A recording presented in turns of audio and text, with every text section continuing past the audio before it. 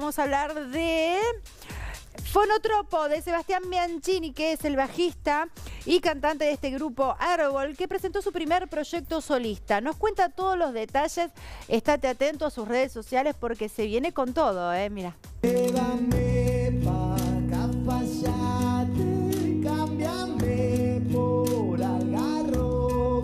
Sebastián, se vino ya en lanzamientos como solista después de cuánto tiempo te atreviste, ponele.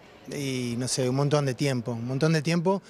Eh, yo sigo tocando con Árbol y sigo eh, con, todas las cosas, pero eh, había grabado, empezado a armar todo este proyecto de mi disco solista y lo iba dejando medio abandonado por una cosa de ego que decía como que es demasiado egocéntrico sacar un disco solista, pero mis amigos me venían presionando y empujando para que lo hiciera y bueno, ahora ya va a estar, ahora el, 25 de agosto ya va a existir este disco. Me gusta tratar de generar cierta concientización con las cuestiones que tienen que ver con la obsolescencia programada, con las cosas que, que se pueden rescatar para darle un nuevo sentido poético, cosas que van quedando abandonadas, ¿no?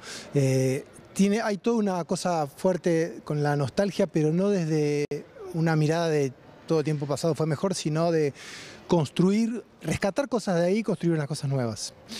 Yo tengo, por ejemplo, unos muñequitos que me acompañan tocando, que son, eran de un arbolito de mis viejos, de arbolito de Navidad, que dejaron de funcionar y logré con un dispositivo armar que toquen las canciones que yo quiero. Entonces tienen, tocan unas campanitas, estos por medio de unos microcontroladores y son, era basura y hoy son...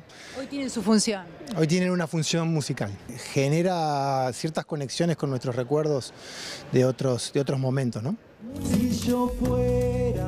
A no perdérselo, lo puedes seguir en sus redes sociales con más novedades porque se viene con todo, con toda esa creatividad que tiene.